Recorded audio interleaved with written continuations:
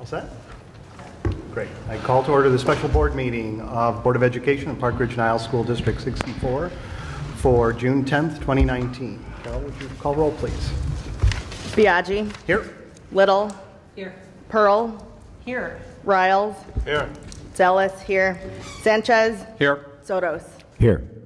Thank you. Um, I don't have any opening remarks. Do you want to do introductions? I don't think there are any introductions No. to do, so, okay. You know, Rick, can I just apologize for the last meeting that I was not here? You know, so I just want to apologize to the board members and the administration and the community.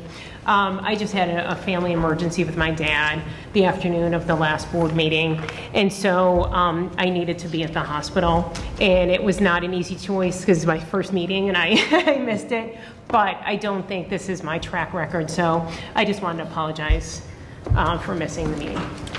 No need to apologize. Stuff happens. We all, we all miss meetings for And I, a variety. and I hope you're not setting a precedent where we all have to Yeah, apologize come every time we miss a meeting. Precedent is set, my friend. But thank you.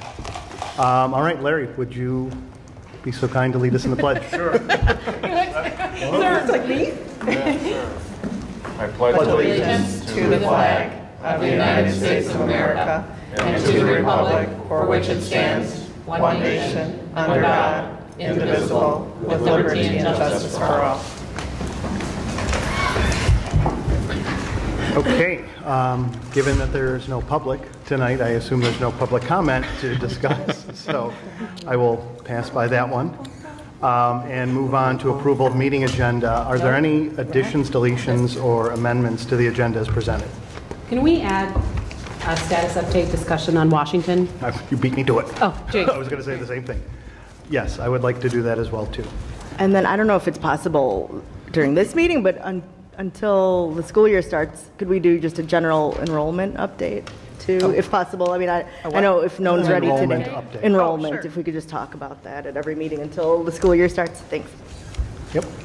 Um, All right. So is there any objection to adding the uh, Washington update and the enrollment update? No. From anyone? Okay, then that will be done. We'll just add that to the first thing. Uh, Any other additions, deletions, amendments? Okay.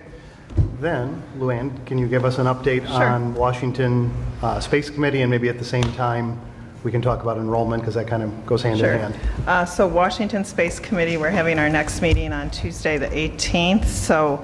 If I um, can interject, the, we just found out that date today in my office, so that date is being pushed out. We um, notified members today via email, the 18th, and we're adding three new teachers because four teachers, three or four teachers stepped off the committee and said no thank you, and three new ones, uh, Stephanie was able to find three new ones to join the committee. So they were communicated with today. And that date was selected because, first and foremost, because the architect, Rick was available on that date. I have two questions. One, did the, uh, did the teachers who step off give a reason for stepping off? And two, have any uh, other parent uh, community members in that area requested to be on the committee since our first go-around? I'll take the latter first. Uh, To my knowledge, no uh, parents, no additional parents have asked to participate in the committee. Um, I, I think that there was a, a level of maybe concern by some of the teachers. Uh, We had a number of meetings. The board meeting was lengthy. It was a little intense at times. Ultimately, their recommendation was really not Oh, taken into consideration, and we swapped the decision-making. We didn't honor the consensus Right, they're just um, that, that they reached. They came Hopefully here they're willing going to to be school to be a flexible. teacher. And um, we How we didn't- did something different with the space. How, how didn't we uh, reach, the, I, I- I believe their recommendation was TAs, which we, yes? Not, not with first grade. That first grade was the one that they, I mean, for better or worse. No, but during our discussions, though, we, we said, hey, maybe we can, no, we said, hey, maybe we can, uh, that was my, my, uh, I, I, I was the one that, that said that if we can do it under scenario A with TAs, why can't we do it under scenario Right. C? And they all agreed, though. They But didn't, they didn't, they didn't object. They actually, they actually paused, we paused the discussion, and they came back after Right. during our conversations and said, you know, we've had a chance to discuss this, and yes, we can alter that to A. So they actually came back with the, yes, we can do it that way. I think that's true. I- Again, not, I don't know anything more, you may know more than I do, but my suspicion is that they didn't have buy-in from the rank and file at Washington. special ed classroom versus. Right, because that, because that deal to go TA for first grade was what allowed us not to use that sped classroom. And my suspicion is they made a deal on the fly with the board and the community that night. I, it was all out in the open, it was in the public, but I suspect they may have taken heat from the rank and file back at Washington for that. I'm speculating.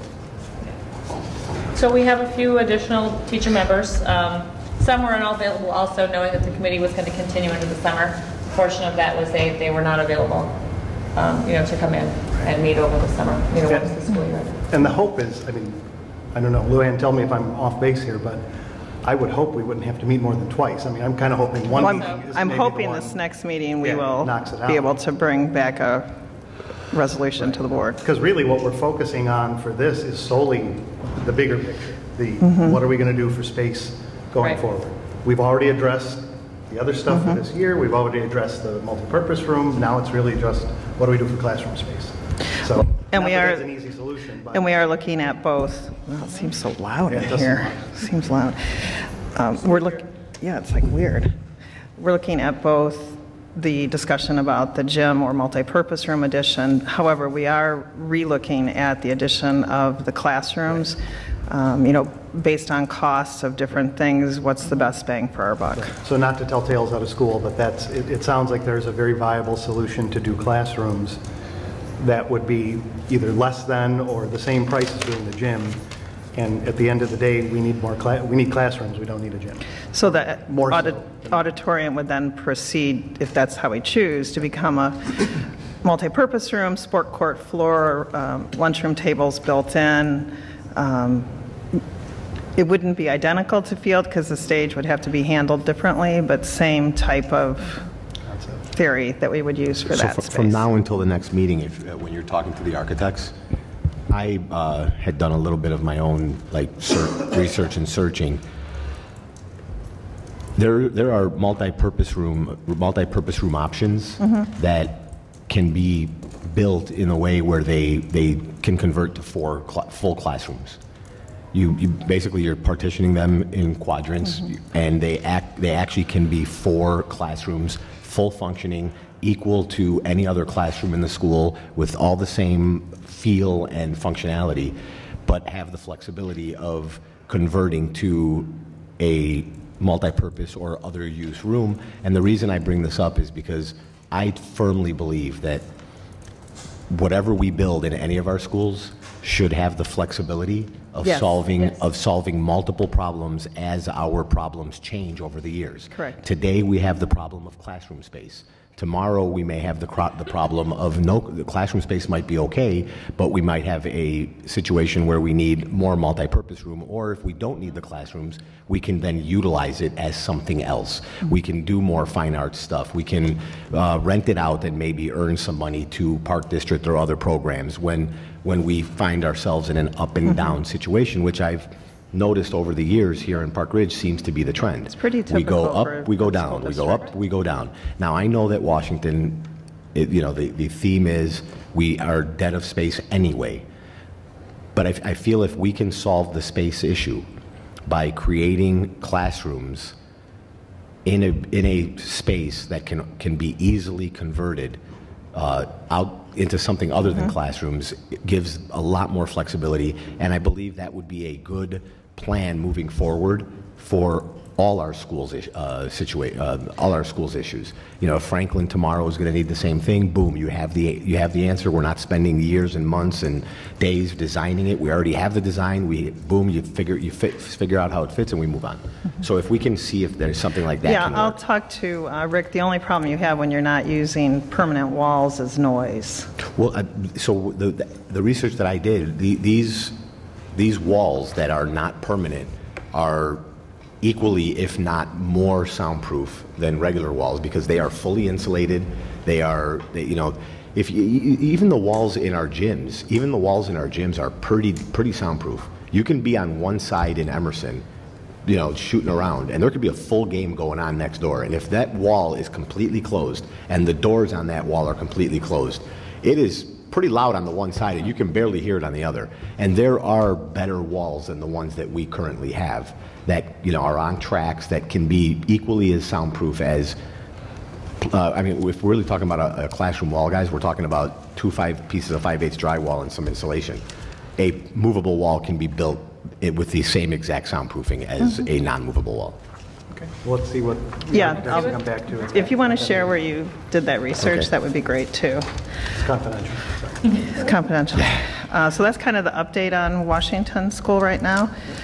Uh, More to come, obviously, at our next meeting. We'll have a recommendation, hopefully, from our committee to bring forward to the board.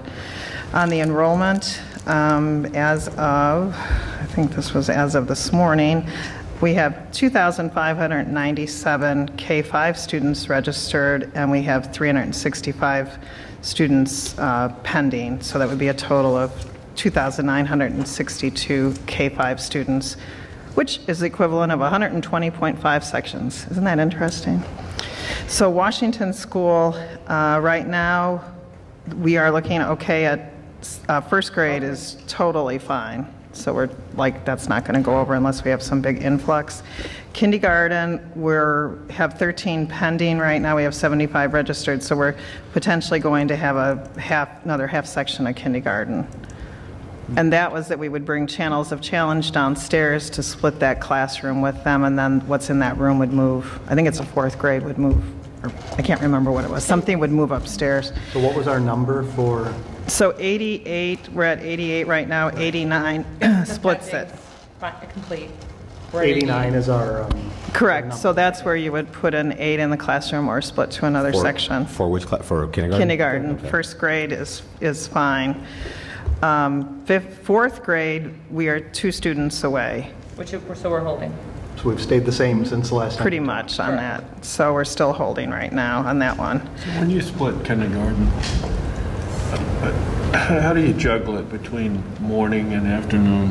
So it would be, they would do, well, first of all, if we were to put another section in, it would be, uh, two classrooms would have two mornings and two afternoons, and then one classroom would probably more than likely have a morning, would be my guess. And then in the afternoon, Channels of Challenge, sorry, Channels of Challenge would use that space uh, for their classes. So they would have to do their schedule, so that would work.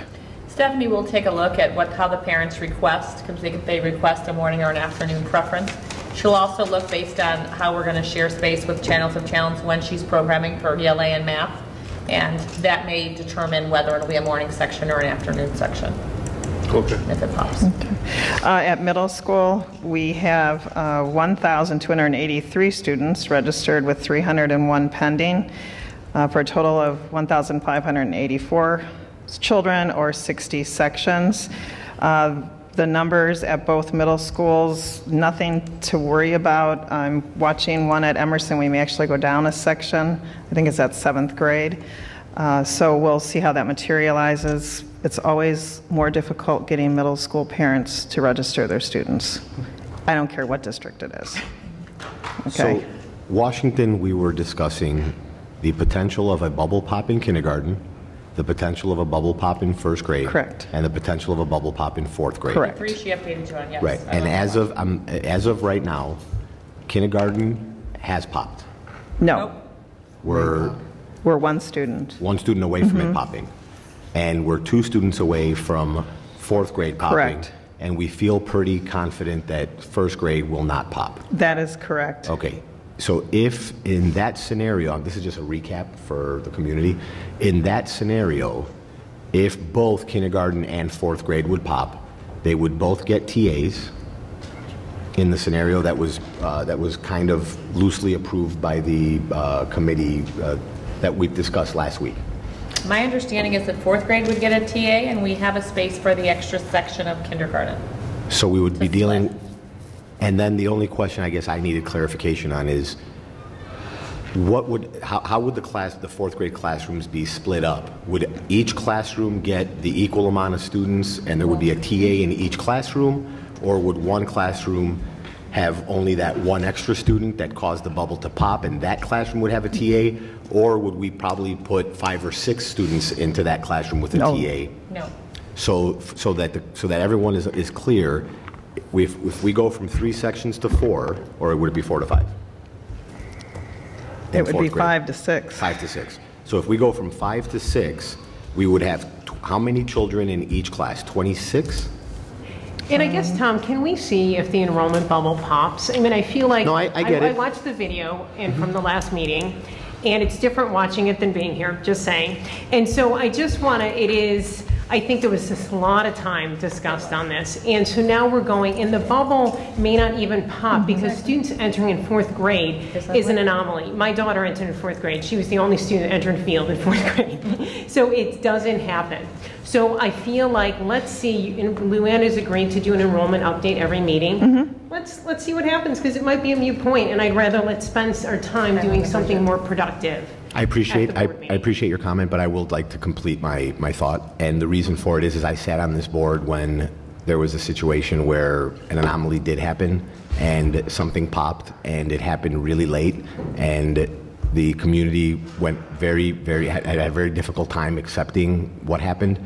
And I, I'm just trying to avoid that from happening again. So with this update, I just want to make it clear, because some people have been confused by our last meeting. They didn't really understand. So the questions I'm asking are actually uh, in response to some of the feedback I've received from our last meeting of a little bit of confusion in the public. So uh, I'm trying to get a little clarification for myself as well. I, I will say also that one of the things that we committed to a year or two ago when the triplets were enrolled, we had triplets enrolled the night before school started, which, you know, caused us to have to, on that first day of school, create a new classroom. We had, you know, kids in a temporary space in the LRC. Um, We, at that time, uh, agreed to communicate with parents about the plan should anything burst.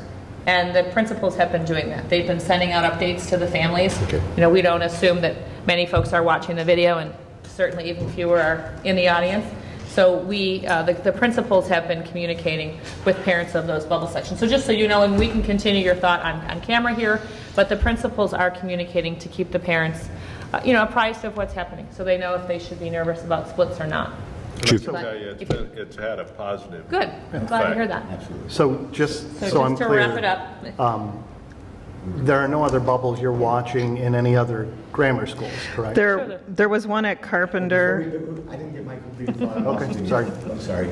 So there would be 20, there there would be 26 in each classroom, except one would have 27, and that classroom Correct. that has the 27 would get the TA. Correct. Okay, and that is the recommendation, that is the, the best, uh, best practice? Best practice. On on how to handle that? Yes.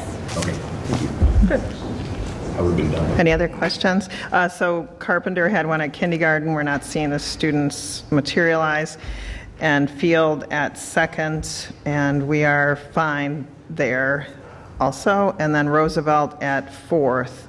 So none, I mean, none of those are close right now, so I we're know we've looking been okay. So focused on Washington, I just wanted to make sure we didn't Oh, yeah. out another school that, And if we have some huge change, well, we'll be talking about Washington, we can let you guys know too if there's a big change between now and the next meeting. Can I ask just a really quick Washington question? That's, or do we vote at the next meeting? Potentially. Okay. for Washington. Depending on Yeah. what we, pr- Yeah. so our meeting is the 18th or the 19th, what day did we just say, the 19th? 18th. 18th. Possibly. It- Our meeting's Okay. what, the 24th? Yeah, we may have to so we might schedule a have enough special time. We meeting. might have to schedule, yeah. The Schedule hope one would be, July. I mean, i- if I have my way, I would like to see the committee come out with a recommendation on the 18th that that they could be bring to the board and say, here we go. But that may, we just don't know what's going to happen. Depending on what we Yeah. propose and if they can turn it around. Yep. Right. Sometimes what we do is we'll have you reach consensus on a concept. Right. Then the architects can go forward and kind of get the ball rolling. Okay, put that's what I was together gonna what they need to ask, put okay. together, and then we may have to schedule a very quick But um, even if, I meeting mean, based July. on what Rick has said, Yeah. even if we didn't get it in the June meeting, if we got it in the July meeting, we should still Oh, yeah, we're okay. generally be okay to- for them to meet timeframes for next school year. So Okay. hopefully we can get it done quicker, but if we can't, we've got a little. But we're still good for that Oh, deadline? yes, Yeah. definitely. Okay, Yes. okay. I don't want to push it past July. Yeah. That July meeting, but Rick, Seeing as, seeing as we have an answer for field right now, and, and seeing as is when we made our decision on field, would you be willing to revisit with our architects if they would feel comfortable expanding the, or uh, giving us a, a, de- expanding the deadline? Because, I mean, I still, I still don't understand how July is our deadline when we decided on the field. Tom, is your, I think your mic is off. It is. So this is more than likely going to be a much bigger addition um, than the field multipurpose room, just because of where it'll need to go on the building potentially. And do we want to look at a- a larger space? Um, If we look at an addition to the building, obviously that is going to be additional footprint. Um, So we've worked with the city, obviously we got field through, um, but we'll be going back with Washington, so then we have to look at all the detention issues, um, you know, where the building's located and and everything like that. And Um, and we- let's talk to them at the committee meeting. Yeah, I'm just really, I'm really uncomfortable making such a large, large decision after one committee meeting and one more board meeting to spend millions of dollars on a permanent fix for Washington. I, I, I feel like it's, it's a super, I feel like it's a super rush. I mean, I really do, I- and I don't want to get this wrong. So I'm just asking, Let's, let's push them on that, and, and again, let's see what they come back with. They may have some Right. totally different plans. Right, I mean, to do the detention, I think it took us about three months just to come into agreement with MWRD and the city. It- It's a long, that's a long process. Um, Well, But Yeah, let's, let's see what happens at that Right. and, and we'll go from there. I've always been able to push them on other stuff, so. yeah, we're not starting the construction until, you know, late in the Well- year anyway, so I mean, I just. Right. They would be looking probably to start either this fall or in March, Right. I think. Okay, any other questions on Washington update or, or enrollment? Okay, then we are moving on to the big ticket item for tonight. Ooh, the budget. Luann. Okay, so, budget. uh, let me get, is that changing? I may need to have- walk over there and. Do you instead. want me to work the thing? Hey, Larry, can you move your mic a little bit closer? I was getting uh, the high sign from the audience that uh, your mic was a little far away. There Did you it go? Do Okay. you want me to work the clicker? Oh, boy, you can't see it. We knew that light blue was Okay, light. do you guys all have it on your We got screen? it. Yeah, we have it. Yep. It's pretty, but it's Anyone in the audience, I'm, I'm sorry, um, hard to read. well, we do have it posted online, It's okay. the board packet. Uh, I didn't know it was going to be like that. Okay, so tonight we're talking about the 2019-20 uh, budget. It's hard to believe we're here again, but uh, this is typical time of year when we start working on it. So since we have some new board members, I thought I would kind of go through the budget cycle with you guys so that you understand how this, this works uh, going forward. So starting in January and February, we review our financial projections because we find out the CPI, which is released uh, mid-January, so then we know what our CPI for the tax levy going forward will be. Uh, We start reviewing with the board generally in February our enrollment and staffing plans based on our projections for the enrollment and then other needs. So if there are needs for additional special ed teachers or uh, psychologists or something, we generally will start talking to the board about that and telling you what the cost is going to be associated with that. At the January board meeting, you actually give us authority, um, you vote on it to begin our budget cycle. So it's just um, kind of something you do every year just to allow us to work on it. Our February, March, April, May timeframe, the board approves our staffing generally in March. Uh, We have meetings with our different departments, our large departments, our curriculum and instruction, our special ed, our technology, our operations and maintenance, human resource, you know, big ticket items in our budget. Uh, With them, they all have uh, budgets. We have it prepared in Google Docs so we can all share it. And I, I really have to say kudos to the administrators that are- putting this together and the tech um, instructional, t- no, not instructional, the um, curriculum individuals, Specialists. specialists that are working with Lori on putting all their budgets together. It's, it is a quite detailed budget, pretty much down to, you know, this amount for this item. Uh, We receive in April our rate increases for our benefits and district insurance, which is the second largest part of our budget behind salaries.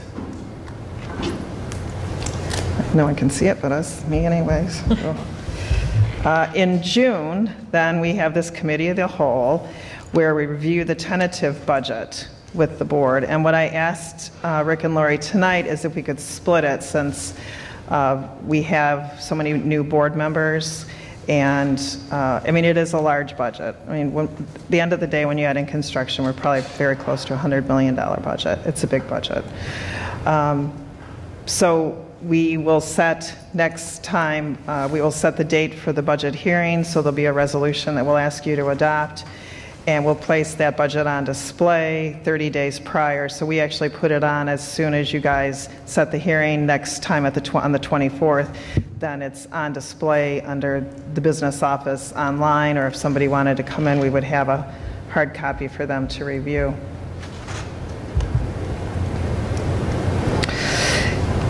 Then in August, we'll conduct a public hearing on our budget. Uh, The board has asked that we try to always have a hearing the month prior to asking the board to adopt the tax levy, budget, those type of items. Uh, The board will adopt the budget prior to September 30th. That's in statute that we do that.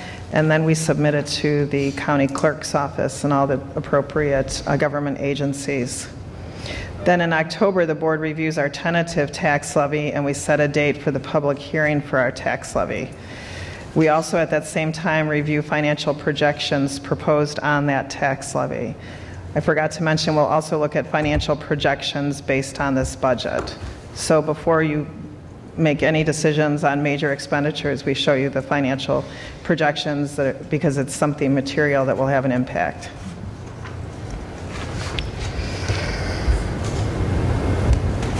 November, we conduct our public hearing on our tax levy, and then in December, the board approves the tax levy, and this by statute has to be done prior to the last Tuesday of the month, um, submitted to Cook County. I mean, it's all very, very legal about the dates and the times that we have to hit with these. So that's our budget cycle, and then January, we start all over again. Are we changing? Okay. So within a school district budget, we have, we do fund accounting, so it's different than accounting uh, for a private uh, company or corporation. So we have ours broken out to our major funds, Fund 10 being our educational fund, that's instructional related items. It's also called the general fund. So if we have like couldn't figure out anywhere else to charge something, it's charged to the general fund, so to Fund 10. But for our purposes, it's pretty much all of our instructional expenditures are charged there. Fund 20, operations and maintenance, is our upkeep of our buildings and grounds. It's also where we charge our security uh, expenditures because many of those are material in uh, nature. So that uh, pretty much includes all operations and maintenance within our district. Uh, Fund 30 is our debt service, and that's solely established to pay debt payments. When the district issues bonds, the county clerk sets those tax levies every year, uh, and that is paid out of there. We also pay, uh, we have some capital leases and our debt certificate payments, which are levied in other they receive the money from a levy in another fund, so O and M, the levy for the debt certificates, we take the money from there, so that's all moved to debt service and paid out of there. Fund 40 is our transportation fund. So this is pretty much just our costs associated with busing students.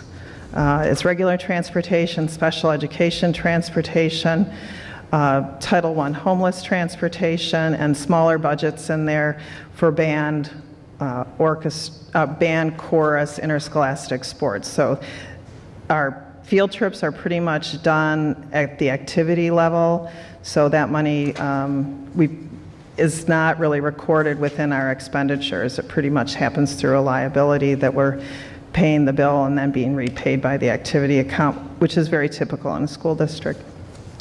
Fund 50 is our municipal retirement fund, Illinois Municipal Retirement Fund. So this is all non-certified employees that work over 600 hours in a 12-month period. Uh, We pay IMRF uh, for all of those employees.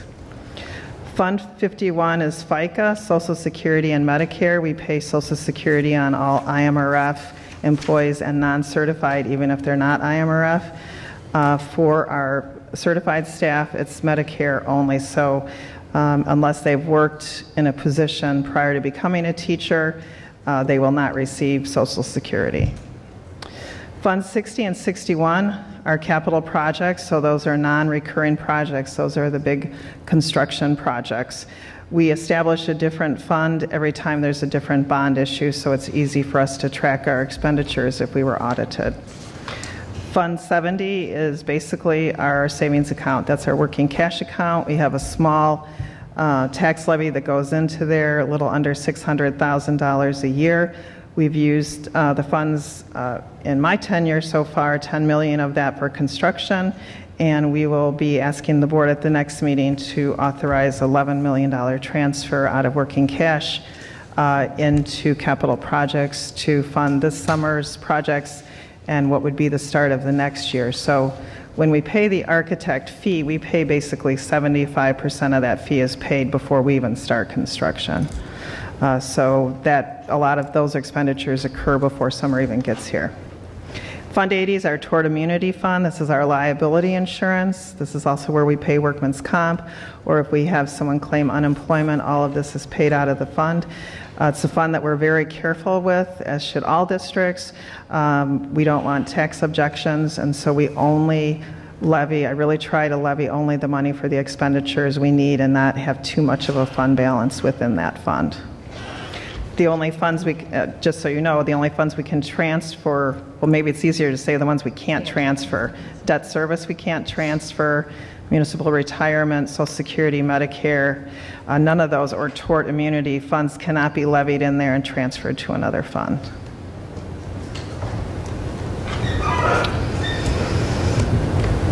So let's, uh, this week we'll be looking at our education fund, our debt service fund, transportation fund, and our tort immunity fund. And next week, we'll be looking at our uh, revenue accounts. I did receive um, late Friday afternoon our final tax levy for this year, so I'll be incorporating that into uh, the revenue. I mean, it was good news, not bad news. Um, And then we'll be showing you the operations and maintenance, IMRF construction funds, and working cash funds at our next meeting, okay? So I just kind of want to run over this quickly because it's going to change when we implement Infinite Visions. But when you look at our reports, please always ask me if you have questions or don't understand something.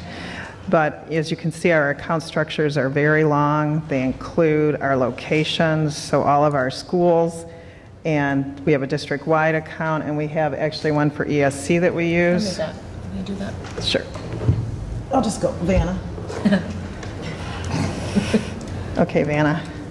Uh, Then we have functions. So function is what are we do, you know, what are we doing? It's instruction, support services, all the way through debt service payments. These are all set by the state. So this is through the Illinois Program Accounting Manual that uh, this is done.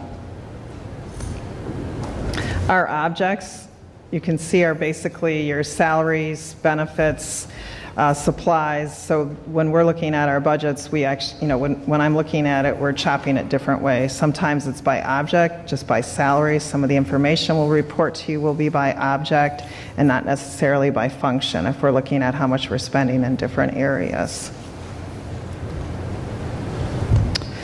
Uh, we then have um, we have, so we have fund, location, function, object, program, and then project is our last six digits. So for all of our uh, title grants, they all have a code which is associated with the state code, so we can track our revenue and expenditures. Uh, For our construction, every year, I set up, we set up a new string of accounts for that program code, so it's based on the year, so 2019, and then it's project one through you know, 12 or whatever it is for that year. So we easily know that we've kept all the expenditures for that project, so it helps when we do our audit and when we do our fixed assets. It's very easy to see what we spent in the different areas. Okay, the review of the tentative budget. So the largest uh, expenditure in, in, in our budget is our salaries. So over 80% is salaries. Uh, this year, as we reported earlier, the average salary increase, this is just average for PREA, is 3.38. What I did is I take the cohort of individuals at that point in time that are returning and look at what their average raise would be. For PRTAA this year, it's about 3.09%.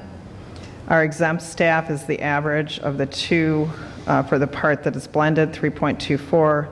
Our um, custodial and secretaries, 3.1, and then admin, as we had discussed, uh, we used a 3% um, average raise for Lori for determining what her budget was. If you guys have any questions, just say, just I have yell a it out. question. I don't know if this is the right time, though. Um, So you mentioned Google Docs, that's when um, info is input in there. And I also read some reference to like uh, some type of online access. Is that the same thing you're talking about is when is, or is there some other type of online access that people have when they're um, configuring these expenditures? So you have Google Docs, right, with the um, working um, budget. And then is there, so that is the online access that would have been referred to? For Okay. those different departments, And then yes. afterwards, it's input into the actual software, so it's like a, To Infinite Visions, Okay. yes. So I'm like a really anal budgeter, so, She just likes, uh, uh, not Google Docs. right, yeah. But So that's- use so Excel a lot. can work collaboratively on the budget without, you know, sitting in the same room as Right, her. right, right. They have access to it collaboratively. Then after they've met by department with Luann and kind of finalized what their initiatives are and the price points attached to them, Mm-hmm. then once that process is taken care of, then her, someone in her department puts that information into what will now be Infinite um, Vision. and that's a straight upload bill. And then who has access to Infinite Visions? Just your whole department or people outside of your? Who has access to Right, Infinite so then Visions? who's using Infinite Visions? So we have themselves? core users, so those are individuals that do payroll, accounts payable, um, individuals in the HR department, so like Joel obviously has access and myself, so it's used for hiring. Um, So it's really all of our finance and human resources. So we have, you know, direct, obviously, access to the whole program. All of our employees have access, um, de- depending on who they are, they have a dashboard.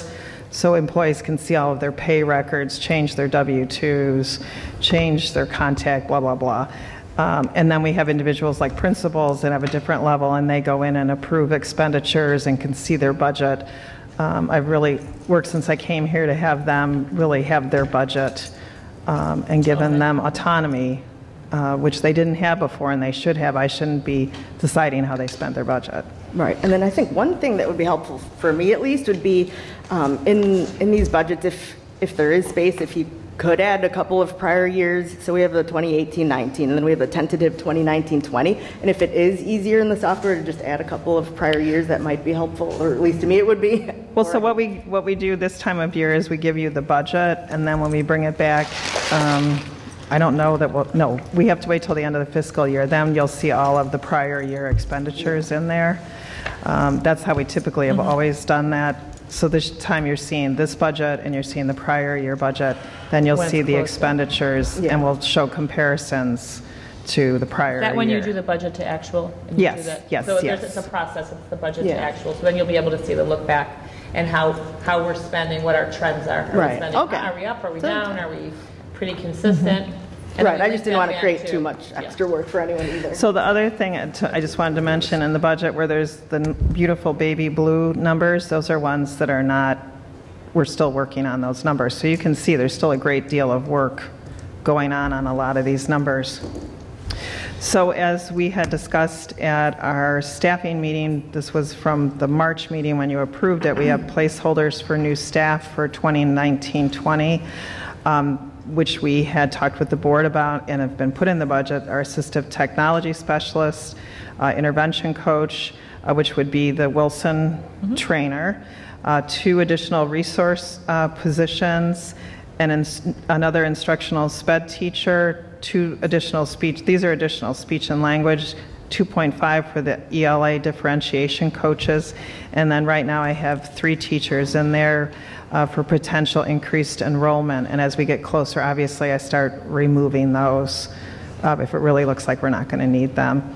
Uh, The other thing that happens with the salaries is that we, when we do this, I mean, I'm replacing people, so Joel's telling me who's replacing who, so we have a apples to apples comparison, or when we fill those positions. So we try to keep, I mean, our, our salary budgets are the real salaries. So like right now, there's two placeholders in there for speech language, and that's because they haven't been approved by the board yet. So, And then one of the things through collective bargaining a few years ago, you know, the board had directed us when, especially when teachers retire and they're making, you know, 115, 118,000 dollars because they've maxed out in terms of our, our, um, our collective bargaining agreement on the salary schedule. The directive from the board was to try to bring people in around 54, 55,000, so that's typically very close to a starting salary with no experience, maybe a year. So when we hire folks, especially in the classroom ranks, we try to stick within that step one, two, year one, PA5 two. type. Um, 65, 50, 55 to 60,000 dollars. And then that money, the money that we're saving by, um, through attrition and then hiring um, newer folks, we're pumping that money in uh, to the facility projects. And we let the teachers union know that if they worked with us through this first round of, uh, the first four years of the collective bargaining agreement, that that's what we would be doing with the additional funds we were saving. And it, it has really helped us save millions of dollars that we can put towards Mm-hmm. that we've put in work. through our debt Yep. certificates, that money's coming into construction. A couple other things on salary, and I know my Larry over here is chomping at the bit. Is it, does the word start with an S, have to do with stipends? Does it end with a D? That is the cruelest word in the English language. We're almost there, Stipends Larry. and overtime. If it's almost hooked to your name, right? So let's just talk about that. I gave you two documents tonight while we're talking about salaries. This was um, a request that I received. So the, the first document, this one, the two-page one, is straight out of our PREA contract. So at our last negotiations, we, our, our committee for stipends worked many, many hours to uh, quantify and put this together. So before, our list was like there was a lot, a lot of stipends, but there was only maybe 10 mentioned in the contract, so we've really tried to uh, tease it out and really identify everything, because for me to try and budget and not know about stipends would be insane. So, I, I mean, I couldn't budget, because as you can see, when you look at my other sheet, which is extra pay, stipends, hourly, and overtime, and I wrote some notes on there for you guys. For stipends, we pay right over a million dollars. So, I mean, I need to, you know, we need to know what that is for budgeting. So we've pretty much quantified all of it uh, in the PREA uh, contract. Uh, We did our per diem days, which are days that are used for uh, curriculum writing, so that's used by our curriculum specialists in the summer. Uh, Some use all their days, some don't use all of them, Um, but they receive the curriculum writing rate, which is about $47 an hour. Uh, We have some total hourly in there, which are are typically budgets that we're, we are more than likely going to see spent on hourly. And then overtime, most of our overtime is clerical, so we don't have uh, teachers or administrators receiving uh, overtime. We all work on a salaried contract. So the ones that we see receiving overtime are per Fair Labor Standards uh, Board for who should be receiving uh, overtime. So that's um, anyone in the secretarial and custodian union would be eligible for overtime. Larry? Yeah, so I always ask for this information because I always want to look at stipends and overtime to see if there's value added to our children's education by paying overtime and stipends. And there, you know, I always have a uh, painful look on my face when I see $284,000 paid to stipend teachers for lunchroom supervision. And it, this is something four years ago we didn't pay. It wasn't there. Well, the So- parents were paying it. Right. Because what Okay. kids, because kids would pay if they stayed through the lunch hour. And we mhm. got rid of that a number of years ago, more than four. Yeah. And I can tell you why we got rid of it, because Bernadette's been cleaning out her files. We got Because rid of what? it. Bernadette, Get rid of- I, Bernadette's been cleaning out her files oh, By bringing them to Luann. By bringing them to my office. So, so now, so now we know why we got rid of it, which is? And Lori brings her files, so. Only construction. Only construction. The reason they got rid of it was because DCFS came in and said that if we were running this quote daycare, we had, they had to be providing the lunch also. So that's why they did away with this private non-for-profit company, which had its own board of directors and everything, and brought it into the district was uh, they could, DCFS would not let them continue to operate in the manner they were operating under. So since that time, we've had a combination of teachers and teacher assistants running the lunchroom at the different schools. And teacher assistants, that is part of their um, Assignment. daily assignment, so they're not receiving uh, stipends. We did that in our last contract negotiation, so before and after bus duty and lunch duty are part of their normal workday. In the teachers' collective bargaining agreement, however, they get a duty-free lunch via the contract. So if they choose to work during the lunch hour, they have to be paid for it. So that's, and then there's the, that dollar price tag that Larry speaks to every time we do the budget. So the um, non-certified, I just want to make clear, non-certified, that that's part of their day. They do also have a duty-free lunch. So just so I'm clear though with the numbers, so we're on page, and actually I wanted to ask the question, are these on the, I know these weren't part of our board pack. This, I, we will get this on the website. I This is- just worked on okay. this. Today. Today, but this is in the, the PREA agreement, but we Right. can put it with this for today's board meeting, just so might be it's helpful. easily accessible. So on page, whatever, two of, of this piece, mm-hmm. it breaks out lunchroom supervision, $331,300, non-teacher, 284,1, teacher.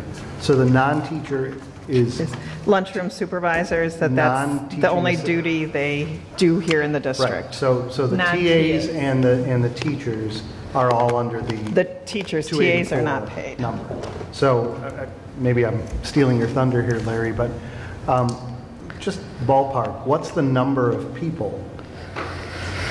Ballpark. I mean, God, because it's my understanding at, if, for instance, at X school. At the most. There might be 10 lunchroom helpers and one teacher. So they do have a, they have an allocation of one supervisor per 30 students. And so what the, the um, principals try very, very hard to have teachers sign up because students behave better if there's a teacher in the room. Uh, Lunchroom supervision, some buildings have no problems getting individuals as lunchroom supervisors.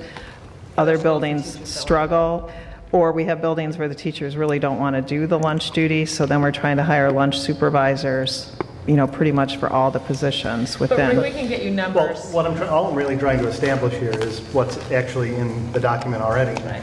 Which is that the teachers and the TAs are being paid uh, 284. thir- 35 bucks an hour, 24 bucks an hour, right? That's on, The stipend. Yeah, it comes out to about thirty dollars an Right. hour, and an average, you know, Average. lunch ladies are getting ten to twelve dollars an right. hour. And the non-teachers are getting 10 to 12 dollars an hour. I'm on the Third? second page of the collective bargaining agreement matrix. Oh, I see that. Towards the top. Yeah. And the point I made la, reason. Last year when we discussed this is, of course, we could Get more hire, lunchroom supervisors. yeah, we could hire three times as many lunchroom ladies, uh, you know.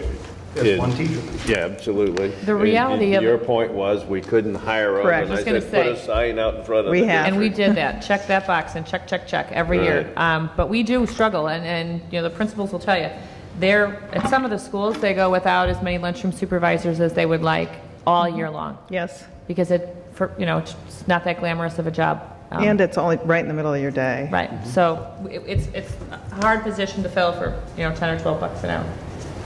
Seems like we have this conversation We do. every year. We do.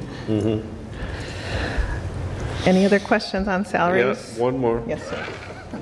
Don't run. Um, We're paying a nurse to work beyond the bell, paid by the district. Why isn't the park district paying that salary? Oh, so they, they are paying for it um, through a rental fee that we receive. Um, This goes back to the Department Remember of the D- Justice, all Remember that. the DOJ, substantive sure. support? So they do pay for it. Because initially, we weren't doing that because it was not our program. They were using our space, but it's a park district program. Parents pushed that, went to the DOJ level, saying that because the park district is such a partner at a level that they- we give special and differential treatment to, that we were required to provide that high level of medical assistance to two um, students that have some significant health needs. So they're reimbursing us the To a portion, 15,000. I'm not fully, I don't believe, Oh, no, they are. fully. It was in the agreement, 75,000 Hmm. a year. Okay. I'm happy to hear that. So, other questions on salaries? So Luann, this is a quick question. So there is intramurals at the middle school. When it's posted every two years, but then that's the budget each year. It's just a two-year roll, I'm assuming? Yes, what we've asked is that we allow, you know, other people are allowed to try, you know, to get stipends for intramural or interscholastic sports. Because you see the amount of that stipend, right? It's a fair amount of money. Yeah. So there are some people that are, that really vie for that position. So just, you can't have it from the time you get the job in the district for 20 years. Gotcha. No, I was, kind I was wondering about the amount. Yeah. Okay. And the schools are very good with their clubs. I mean, they look at attendance, how many kids are attending, and uh, they do a really nice job with scheduling it so different people can get different access to having clubs in that. Is the district considering uh, making Camp Duncan two days, three three days and two nights again? Or is Uh, that no. just, or does that just need to be get updated? That just needs to, that's from the CBA when it was still that way. so Yes. That just needs to be Okay. updated. So if you have other salary questions, obviously, or any questions, email me and I'll hoping. respond back to the entire board. On our health insurance, so we have our insurance through Northern, uh, through Northern Illinois Health Insurance Program, so we're in a cooperative with other school districts. Um, For this year, I was very happy, our PPO increase is only 1.2%, which is amazing, because we've had some pretty severe years. Our HMO, 6.6, that's typically going to always be higher. We only have about 70 employees on HMO, so you're spreading that risk over a much smaller group. Smaller? Smaller. Our dental, 1.4%, which is a great uh, improvement over where we were. So I'm very happy with the insurance um, renewals that we have for this year. Uh, Compared to last year, we had much higher increases. But can you give us just kind of a gonna say, snapshot one of of what the it things, is yeah. versus when we did the collective bargaining agreement three years ago? Because it's, it's not been 1.2%. No, I'm, In those three years, just ballpark. I think last year it was 5% or higher for PPO, so it always, we have always been much higher, 4 to 5% at least, because we have very bad experience. And the collective bargaining agreement was locked for those four years. Well, no, With we, respect to we health increased, um, no, the premium increases every year, so the employee portion and the employer portion increase. So there's a percentage breakdown. So they both do share in that, that increase, obviously the board picking up majority of that the lion's increase. share. So one of the things Luann and I talked about it after you and I had to talk about it was having the gal from the insurance company, Lisa Yevsky from Gallagher, coming out at some point as you, as you gear up for negotiations, just so the board, especially because there's three new members, has a real deep understanding of insurance, because it is really complicated and there's a lot of different plans that are offered and the, the premiums and the, the out-of-pocket expense, you know, the, for the board changes every year, and it's a big number because, you know, we employ 750 people in the district. So you'll just have to direct us, Luann and, and, uh, you know, Eric, as to when you'd like to have that on the agenda for an upcoming meeting. And she can come out and talk about NIHIP and kind of the components of that and how rates are calculated and everything. Is, is the board all interested in that conversation of, of having that? Because I know I am. I'd like to Yeah, hear that in anticipation of the collective bargaining negotiations, so. It's a good idea. It's a big chunk of the budget. It is. Thirty percent and it's just. Mm-hmm. It's salaries. huge. It is? Maybe, maybe if we've got a hole, I know that's kind of laughable, if we have a hole in one of these agendas over the summer. That is laughable, that. Rick. Yeah, I just need enough notice to get her Well, here. right, right now, your lightest agenda is going to be July, and you'll, you know, August is usually not overly crowded. I can take a peek while, while Luann keeps talking to see what we Okay. have in- in draft form. So Maybe in, we try and do that in July. I mean, even if it's a half hour or 45 minute. I can you know, check with Lisa. Line item on the agenda. I can text her. That's comical, Rick. I know. I just want to note that. We all have to tape our mouths shut. We can, we just. Oh, just Tom. If it's in July, I won't be here, so don't worry about it. no, you said you'll be here. I know. Life insurance uh, remains flat. Uh, The TRS board share that they pay on certified staff remain flat. THIS, which is the teacher's health insurance, uh, that's after they retire, remain flat. Our IMRF for 2019 and 20 respectively, uh, IMRF uh, saw quite a steep climb, um, increase, but they are looking for an overall increase uh, with IMRF. So uh, everyone in IMRF got hit this year. Is that because of market fluctuation, or is that because our age, our I think it's more of, I can report back, I believe it was market. We did receive information on it. No, it does not have to do with the age of our, The market's been up pretty, it- well, this is the whole IMRF, it's No, no, not I- just I us. So I can, I'll, br- I'll bring more information uh, next time on what is happening with that. IMRF is fully funded, which is awesome. A nice thing. Uh, So that, you know, those are things that are beyond our control as far as what those rates are, but I was happy TRS and THIS remained the same. Our materials and services, Vanna, um, in our curriculum uh, budget, the 2210 budget, which is a large budget, and this is overseen by Lori Lopez. Um, So this is, think of everything from art, PE, I mean, everything falls within uh, her areas. Uh, So some of her major things uh, that she wanted me to mention, uh, major ones are literacy intervention materials, response to intervention they'll be uh, purchasing this year. Uh, New adoption, they'll be setting up a committee and working on for elementary social studies. Uh, Health, we now have added access for our middle school students for online textbooks. Middle, middle school math, integrated math materials, and then we have a new adoption for middle school social studies, uh, which she had talked with the board about. And then we are actually starting, um, this is not very exciting, but we do try to replace some of our larger assets, Mats being a big asset, uh, throughout uh, the district. So this year, I have Andrew, who is our curriculum specialist, they identify like kind of where we need to start, because uh, safety is always of my utmost uh, concern, and with the mats, we want to make sure they're in good working order. So those are kind of some of the major ones. Uh, Some of the other things in her budget is, you know, she does a lot of the professional development, and so we have early, re- you know, we have release day subs, that's a large part of her budget, some consultants on our SEL, um, and web-based programs, as we had talked about last year, that cost continues to increase. Textbook companies have learned that where we used to keep a textbook for seven years, Or more. yeah, now you get the online for three years, and then they hit you with a big renewal. Um, So that's within her budget. So, um, wha- I mean, great job on her budget. Okay. And I talked about that, the increase in subs. Okay, so Vanna, go to technology expenditures. Okay, so every year we have, um, this pretty much doesn't change, so we have our Chromebook and iPad uh, refresh that we do for the students. So that is uh, pretty much every year expenditure that doesn't adjust too much, and we just know it's coming. Uh, Staff device refresh, uh, she's, does, uh, they do like a whole building at a time, so I think field is up this year. So we have staff keeping devices like five years. So, I mean, a long enough That's a long period time, of time, but the Macs actually lasts pretty, pretty well. It's So- every four years they refresh and, and they hold up, but sometimes we have to call support, the cavalry. Yeah. To find space and, you know, back things up, but it, you're right, this is a good device. It's, it's worth the money.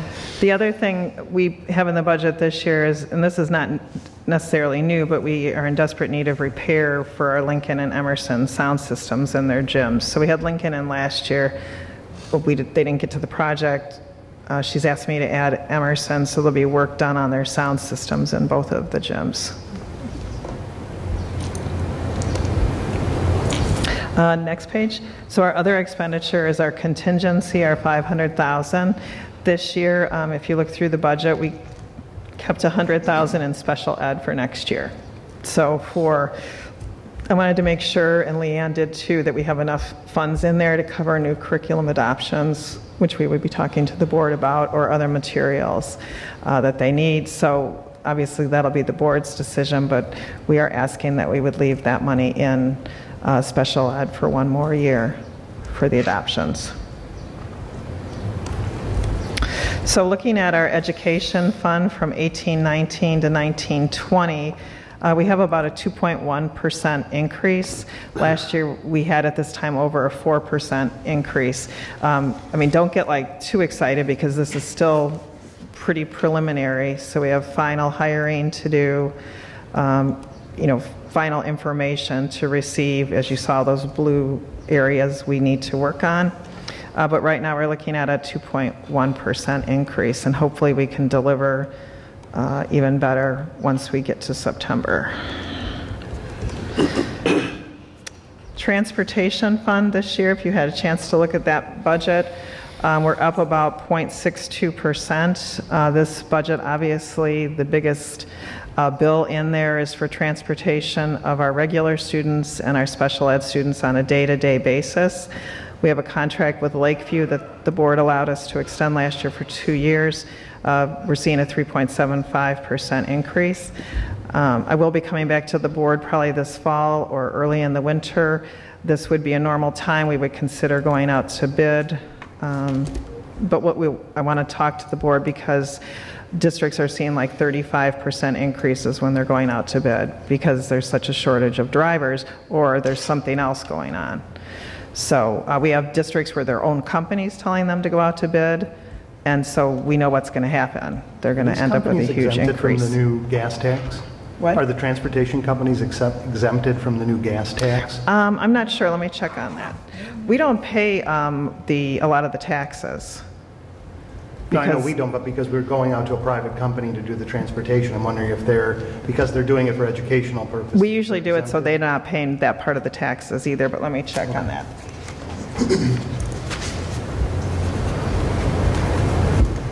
So Luann, when is the transportation contract up? Did you say that and I missed it? At the end of You the would- 2019-20 school year. Okay, so the end of that. okay. Right. And so transportation's usually done as a competitive bid, lowest responsible bidder.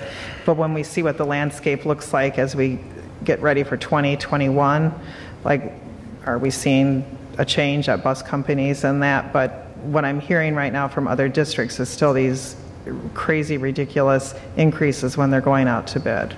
So we have an option to renew mm-hmm. at a Right, that's fixed for- As long as another increase as opposed to company. going out to bid and potentially rolling the dice and getting a 35% increase. So as long as the law is, as long as, like if I had another company come and say they want us to go to bid, we have to go to bid.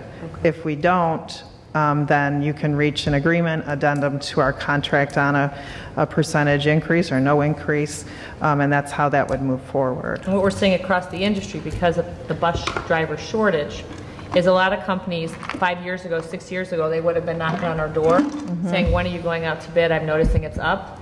They're, they're not even approaching us. Because a couple of years ago, when there was a level of dissatisfaction, it was three or four years We ago. tried. With Lakeview, we tried to go out for bid and we really didn't have anybody. Even somebody that had been hounding both of us for a number of years, Yeah. we went back to him and said, hey, we, you know, we went out to bid, where were you? He's like, I couldn't take on any additional business because we have such a driver shortage. So it- it'll be curious to see what happens. And they are, a lot of the companies, I know ours is paying at least 25 an hour for bus drivers, but it's kind of like the lunch supervisor, think about that schedule. Morning and afternoon. Right, if you need a regular full-time job, that's not really going to do it. And do we typically do a three-year contract with the transportation? Uh, Typically, when we would go out to bid, we would do a three-year contract um, with the supplier. And potentially with a clause to extend, which is what we did, right? With Lakeview We've been, you know, we had a kind of a one rocky year with um, Lakeview, and that's when we kind of had to go out to bid, discussion with them, and did go out to bid. They, uh, in turn, hired two additional individuals that are uh, pretty much Made on the huge difference. spot all the time. So, you know, once in a while, we'll have a, a little hiccup, someone will call and say, oh, they missed my stop, but it, it's become not too many, you know, the biggest complaint I get is I want my stop closer, but we don't do door to door, so. Well, just for you. Did we skip over 27 and 28?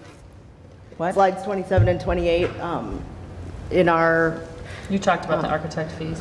oh, Did okay, so to we did contingency that- that, so, okay. Oh, you so- can't, uh, are you seeing some of the slides? You weren't supposed to. Oh, okay, because 25, you mentioned Lincoln and Emerson was left over from last time, and then when, because in our, in our version, we have 27 and 28, and it looks like some on 27 might have been I from was last tracking year with your too. so I- presentation. Yeah. Okay, so just ignore 27. Some of them I said skip, and when Oh, they okay. converted it, it may not have Okay, skipped. no, that's fine. Thought I- missed. Because that story is for next time, some of it. Um, So our tort fund that we talked about, um, I'm very happy to say we're going down another 11% this year. We went down 13%. Um, When I came here, our workers' comp was out of control. So we have really worked with our risk company to uh, make sure that we're providing the proper training to all staff.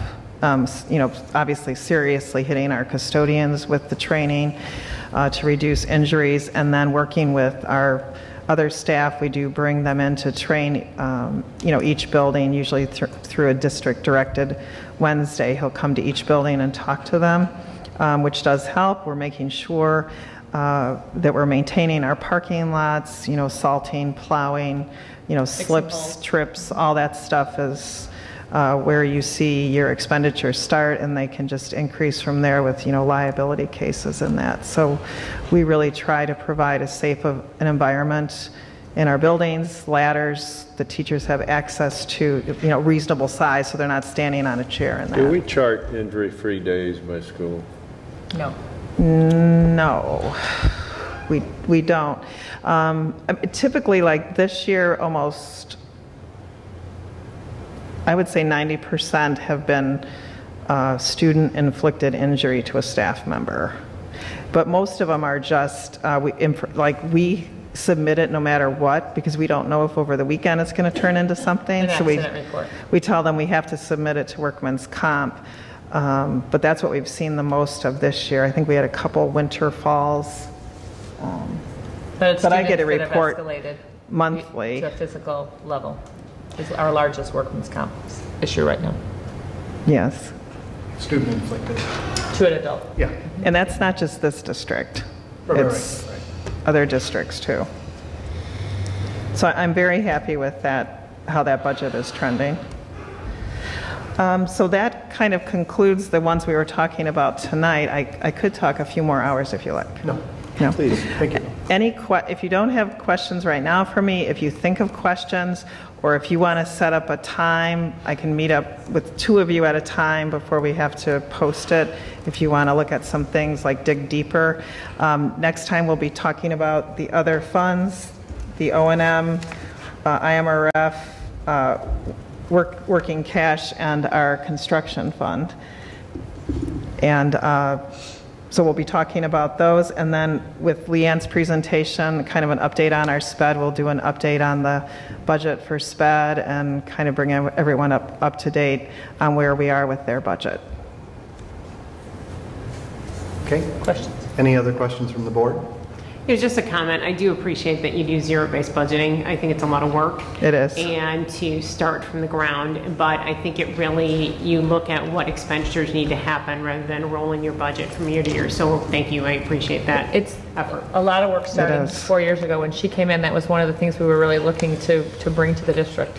So when um, Mrs. Allard retired, you know, one of the top qualifiers was somebody that knew how to zero base. Because five years ago, we couldn't tell you what it costs to run all of our programs, and now anybody can ask, and we absolutely know. So it's a lot of work for Luann, her department, but certainly the, the heads of the department as well. But um, it's nice and clean for everybody to understand what it costs to offer everything that we offer. Yeah, I'm very happy at, to the point we are right now with how we're doing our budgeting. I had a much bigger hand this year because uh, Val's very intense with Infinite Visions right now. Um, We'll be going live July 1, so they're like ripping their hair out and ready to kill me. And, but, so I'm, like, I've always done budgeting, but Brian had done a lot of it, you know, really hands-on, which Val will be too. And it was just kind of good to go back and see all the progress we've made with how they're doing their budgets. Yeah. I was proud of them. Only thing you're missing, I, I ran zero base for years. You don't have the boxing gloves hanging in your office, so I do have a hat. I have a- I used to throw gloves at, at, at people and say, okay, fight for your piece. Here's the gloves. Thanks, Luann, you're doing a great job. Thank you. Thank you very much. Any other questions from the board before we move on? And we will get both of these posted. Great. And you've got a couple of, you, I know you were taking notes, there were a Yes. couple of homework questions. I on have there. have questions on IMRF, the new gas tax, getting Lisa in July. So those are the top ones I have right now. If you think of other ones, you can always Well- email, text, call me, whatever. Yep, great. Okay, moving on to the administrative and exempt salary increase proposal. Um, Five years ago, at this time, five years ago, we started talking with the Board of Ed um, about how we were going to incentivize administrators and other em- employee groups, in which we now have identified our three exempt groups. Um, The board worked very closely with uh, Mrs. Allard and then now Mrs. Colstead and I on trying to make sure that we were bringing folks into the market competitively, that we were paying attention to the market increases by collecting data from the North Cook School District, so we know what an average increase is going to be. We also know how folks are slotted within quartiles. So as they move through their career, we can kind of watch where they should be within reason um, in this area probably three years ago, we identified five benchmark districts that we, we um, track very closely with academically as well as from a fiscal standpoint because they do, we do see them as our employment as well as our um, compensation competition. And over the last few years, we have gotten to a point with the board where um, they have such an understanding of kind of what our process is that we really come to the board with a not to exceed amount. Um, And we let you know what that percentage increase would be on an average by those that are eligible for an increase. And by that, I mean we back anybody out that's new. We're not adding that 3% or 4%, whatever it might be, to folks that are, that are leaving the district.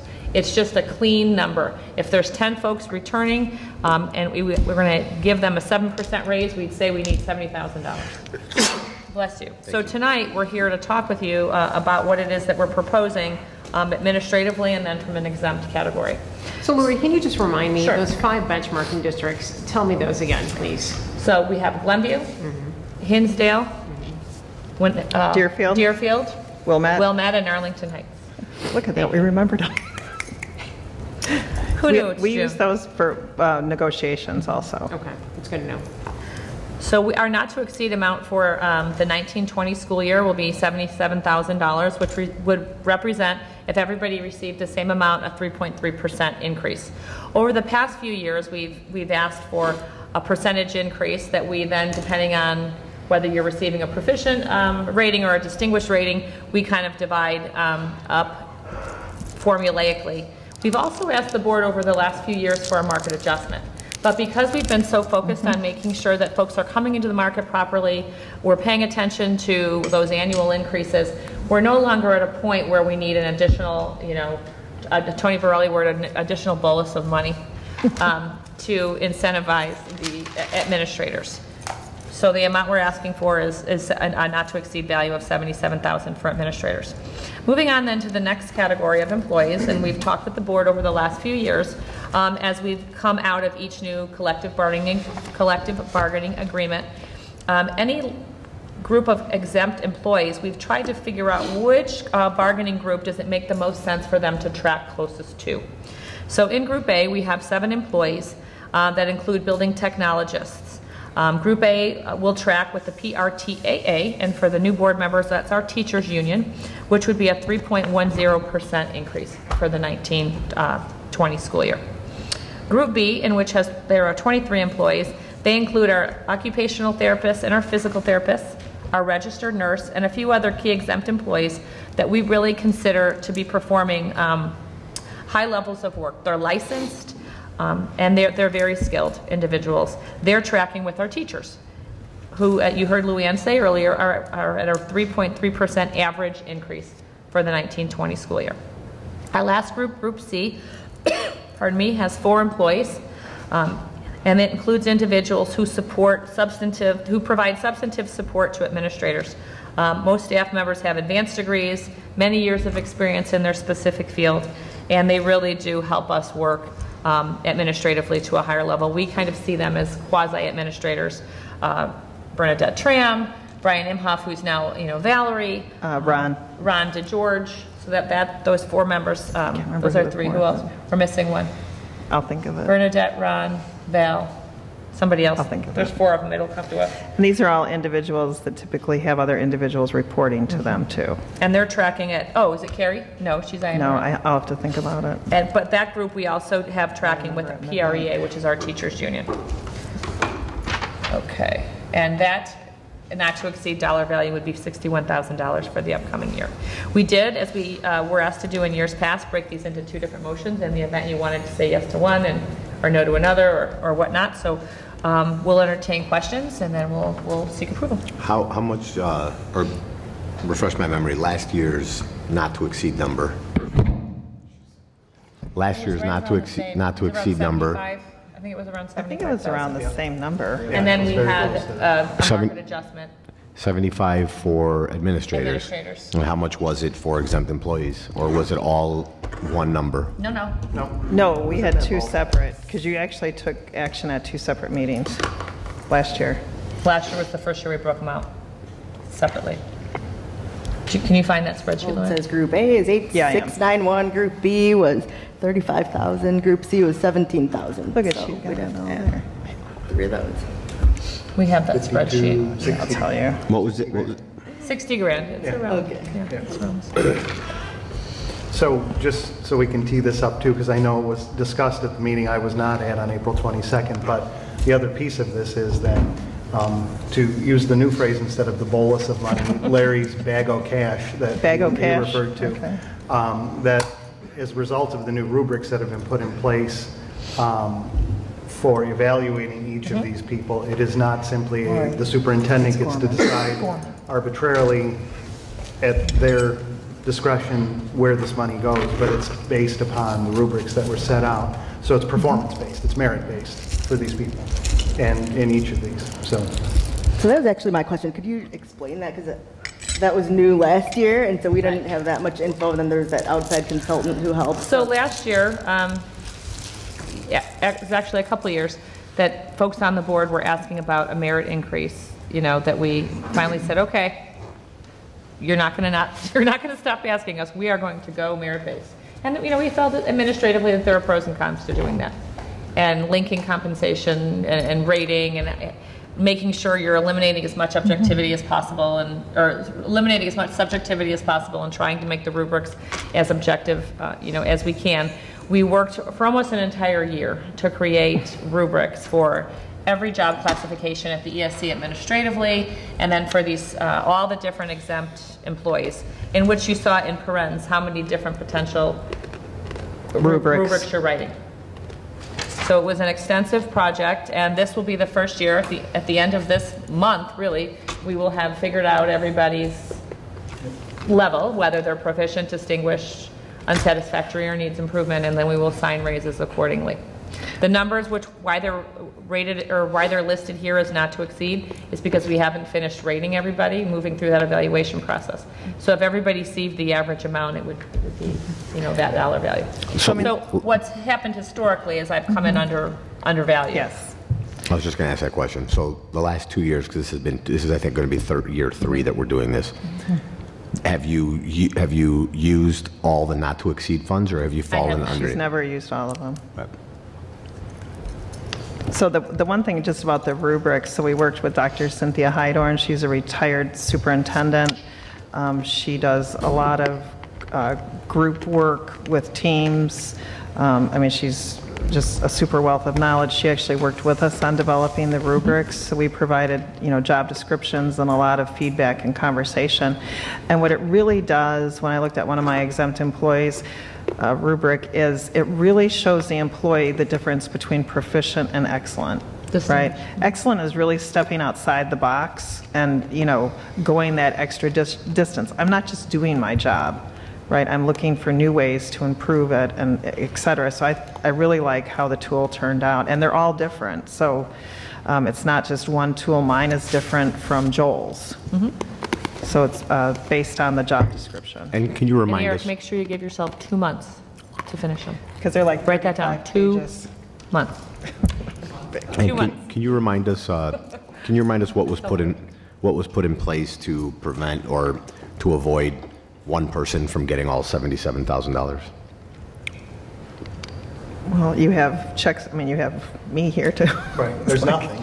I And Joel. Technically speaking, So it's, it's three years now that I'm asking this question is, so we, just, I'm, just for the benefit of everyone else here, it's an average of 3.38% or 2 point, someone might get a 12% raise if someone feels they deserve it. I'm not saying that you've ever done that historically, but our superintendent, this one and our future one, has the authority to do so without coming, once we approve this not to exceed $77,000 number, without coming back to us, whoever is giving these funds. Now, I'm not saying they would do that because then when they come back the, the following year, they're going to have If I some issues. recall, eh, when we had the knockdown, drag 'em out over this whole thing last year, whenever it was, we talked about tying the rubrics That's what I was to a gonna say. matrix, which says, for instance, if you, if you Yes. hit That's what we did. category A, you're getting a 3.38% increase. That's If it right. was category B, you're getting a 3.1.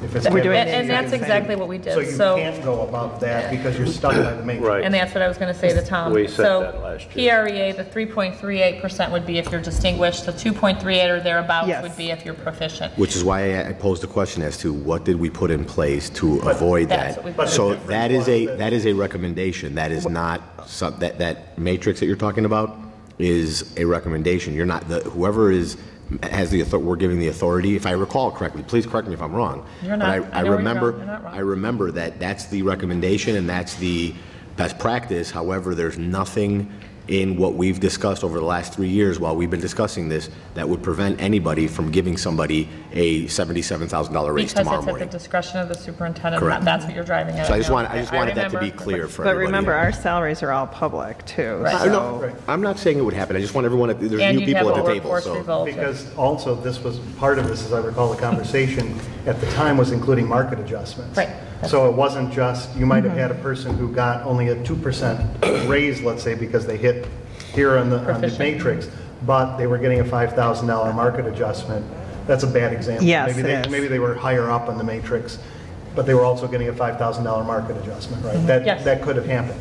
Now we're fairly well caught up on the mm-hmm. market adjustments, that it's no longer an issue. Because when I, with you, right, when I looked at our administrative pools, we had a handful that we were really focused on, trying to make sure. And we did it over a number of Right, years. pri- well, pri- you know, prior to my arrival, it was, you throw a dart, just wherever So- they land, it, there was no rhyme or reason to who was paid to, at what level, So I'd, based on I'd- experience. I'd like for this board to consider the next time we do this, next year, uh, that since we by then should be fully caught up on market adjustments, Mm-hmm. We uh, with all the tricklers, we- we're pretty much already there there. now. We give ourselves one year to really get there, that we do put a cap, the same way that, that there's a cap for PREA, there's a cap for PRTA, there's a cap for everybody.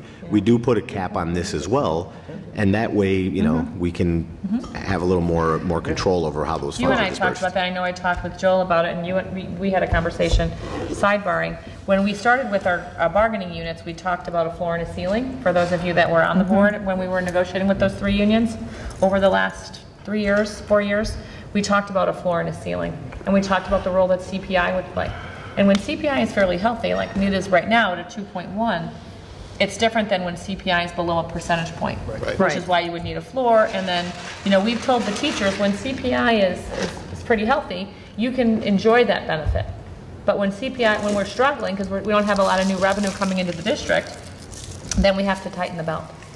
But then I, I did say to Rick, it's kind of like parting thoughts, you probably want to have a conversation about, do you want to cap at any point where we track. Because again, with our teachers especially, when we stretched that salary schedule and really looked at the percentages behind the cells, you know, we found some large, mm-hmm. large percentages that through the stretching, which means it takes six years more to get to the bottom, that real expensive area when you go your degrees and your years down here. So I always kind of do that motion. And looking at the percentage points behind those cells, we've thin- mm-hmm. thinned them out quite a bit. They were at 6%, 7%, 8%. We've kind of tried to standardize that over collective bargaining, but how high do you want to go? Well, and I think the other thing group? that Lori's done, we've done when she's, we've been cognizant of the 3% or- or the 6%. So I can tell you that no administrator ever got 6%, ever. So how about if we do this? I- We have to make a motion too, so that we can further discuss this, I think, but what about the idea, I mean, I know where Tom is going with this, and I know we talked about this before. Ultimately, it's the board's job to hold the superintendent accountable, and if you or her goes off the rails on that and gives somebody a $70,000 raise, frankly, that's our fault, as much as it is the mm-hmm. superintendent's fault, because we should be holding you accountable for that.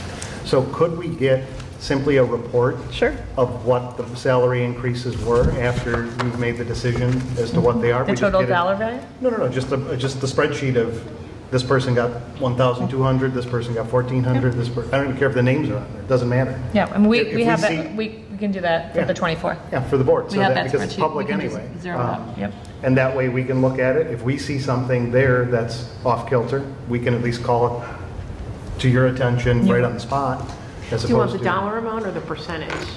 I would think the percentage is more useful, but it's... Right, you because know, I we're just think looking that at- we're- Evens everything out. we're It reporting to everyone- you If in somebody suddenly got an percentages. eight percent and everybody else got I three. think it's easy to see that, fine. that We one. share that with me, because we can, That's easy. that's, yeah. it. we, we, that's how we calculated it, so that's easy. Mm-hmm. I mean, you We'll put it could on for the 24th. also change your motion tonight with a, like, not to exceed 6% or something, I mean, because that's how we've been operating anyway.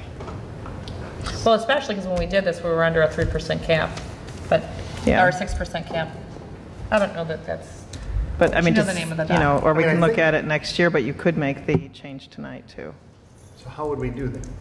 We would camp it at, Bernadette, wouldn't they just change the action item, they have item? to change the No, no, I- I language, get but. procedurally how No, we do she that. knows that. I- I- He's talking about the, the percentage, yeah, what would the percentage but be? without that doc in front of me.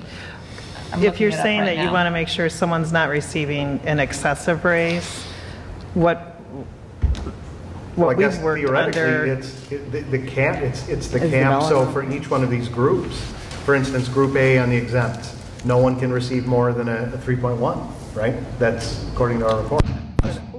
Assuming there's no, uh, there's no more market adjustment stragglers left over, Yeah, I I would, can I tell would you agree with you 100%, Rick. From, from looking at my, sh- my spreadsheet, because we, you know, it's how we do the math. She forces me to use Excel. It's My will. Um, There's, everybody, there's one person that's at 4%, everybody else is at 3.38 or below. Okay, so I don't think we can do that tonight, because I think that's going to mess up what you've got in there. I think we need to stick with the, well, no, but what I'm saying is you could say that no raise would exceed 6%. Or even 4%. Because her and I, I mean, we've oh, I never. see, 6% was an Yeah. arbitrary number that just Well, was... 6% is what TRS has, and so that's, like, for anyone, we don't ever, IMRF or TRS But exceed by it. doing that, then it potentially opens the, the ca, the- the bag of cash to be something bigger. If we- If we say 6%, the bag of cash could be No. 200 grand. No, not to exceed 77, so if they, if And they gave, 6%. if they gave someone 6%, then they would have to give somebody nothing. Okay, so So I'm that they just could saying, balance it would have back to out to both. that 77, mm-hmm. yes, absolutely. Yes, she would do both. No, no, absolutely, the, the cap would always stay. Right. And then there would be a secondary cap as to how much one individual can actually uh, access of that 77,000. Well, and I think it's, not that we don't already do it in practice, but it's wise to have it. Sure. I mean, we already do it. that, we can Yeah, make we do it, motion and that's how we operate, but. Yeah, it sounds like it's happening anyway, so I It don't has been see for the big last deal. four years. Okay, so both of them would be 6%. Yes. So, not, not, not. Each. I don't mean to belabor the point, but why not maintain the level that they were based on in the first place, the 3.38 to 3.10? What would be the reasoning to go to the 6% if there's, ma- I mean. She just said that Well, if someone's she's got getting one fo- person over four here who's or four. four. So if it's, I mean, if we're talking about one, two, or up to like five people that, I mean, we can always ask can make for, it we four. could always ask for an Well, that's why I said four, because looking at my spreadsheet, Yeah, there's we one don't person that really was go like over that. just kind of lagging a little So bit, and Is I, this exempt and, and not? so this, my first, I have Yes. administrators up, but exempt are the same. So we Yeah. can say that, you know, for five people, the, the cap you is don't You six, can just say the Up to- cap. Not to exceed four percent. not to exceed four This is percent. already baked into their con, you know, like, this is like, we're not gonna change this, our numbers are, we need this amount, we've assigned it, once you approve it, it's going to payroll. And they're gonna start getting ready for the July payroll. Right, so, all right, so why, why don't we do this? Why don't we make the motion, we can talk more if there's anything to talk about after the motion's been made and seconded, if it's seconded. Um, So, just, so whoever's going to read this right now, I think it would read something to the effect of approve a not to exceed dollar value of $77,000 and not to exceed 4% for any one individual raise, for, you know, for blah, blah, blah, whatever it is. Okay, so I will entertain uh, a motion on the administrator raises right now. I move that the Board of Education of Community Consolidated School District 64, Park Ridge, Niles, Illinois, approve a not-to-exceed dollar value of $77,000 for administrator raises and 4% for individual raises. Not to exceed. Not to 4%. exceed. Yes, that's mm-hmm. exactly what I was thinking. Do I have a second on that? Second. Rebecca's got the second. Okay, any discussion on that item for administrator raise? So we mentioned July 1st, that's the, the effective date is going to be July 1st. Should we include that? Our in the calories motion? run July 1. Right, No. okay, so that's fine. So I just have one last.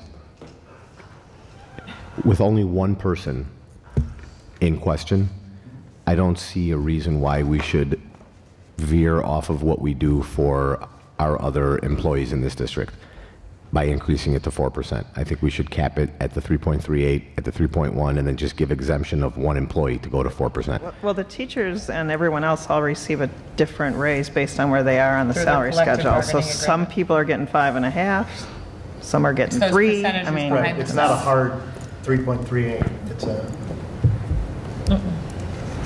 But that's based on, that's based on was their, based on that's the based on average step and step lane. down. That's not, that's not based on, on arbitrary, you know, Right. uh, merit-based. It's It's based on, it's based on a specific step and lane, and this is how you get it, and there's, we can actually matrix it and know exactly what it is and why they're getting it. It's really step, not even lane. It's nothing to do with their Okay. educational experience. Right, we It's a don't step look at down that. Right. From one year to the next. which is why I think we're, unless we want to push this off, which I don't think you can, because then you're pushing off the increases for another month, we do it the other way, which is get the report, hold her and him accountable for that report. If we see something off base on there, we call it to their attention right away. But I think we're, we're past the point at which we can really adjust this the way we want to adjust. And I think your point earlier was, we do it for next year. We, next year, we actually tie it specifically in the matrix to those numbers, and it doesn't exceed that number. The only way you exceed that, if, if, if A is 3.38, and the only way you exceed it is with some sort of discretionary thing from the superintendent for a market adjustment. And, you know, honestly, we've gone round and round, and I still don't necessarily agree at all that it's, I don't, I struggle to know if you're in the weeds at this point in time, to be honest with you, um, i- i- in terms of this, because you're approving a- an amount of money that I'm going to assign based on my evaluation of my employees. You evaluate the superintendent, I evaluate my mm-hmm. team. Right. But we may very well be in the weeds, but. So I'm we're- just we're trying to legally- figure out the right I know, we're legally entitled to be in the weeds, but more importantly, if we get the report and we see line item by line item, we can hold you accountable to that. I agree with you that that, it's, it's ultimately your call, but it's also our call to hold you accountable or Eric accountable for it. And if we see the report, it's in black and white. There's no, mm-hmm. there's no way to, to hide it. In the past, the board wasn't getting a report. The mm-hmm. board had no clue. You had seventy-seven thousand dollars and you got to decide if you wanted to give one person seventy-six thousand nine hundred and some, and everybody else a hundred bucks. That now we're changing it Right. so that the superintendent is truly accountable to the board and the board gets to see that data. And That's all without, we're asking. and without, without giving certain direction to our superintendent, how can you then negatively evaluate them after the fact if you didn't tell them what you expected in the first place? So if we didn't have this conversation and a superintendent gave $20,000 to one person, and I couldn't then, a year, you know, at your, at, at the superintendent's evaluation, say, how dare you do that? I'm going to give you a bad evaluation when you, you can, you can maybe justify it. But without knowing what the board's expectations are, now I think the expectations of the board are pretty clear that we don't really, now that market adjustments have been pretty much done away with, we don't believe, or at least I think we're all agreeing that we don't believe any one person should receive an- anything beyond a specific number. Because over the last few years, we have worked towards giving you a percentage that tracks with the teachers.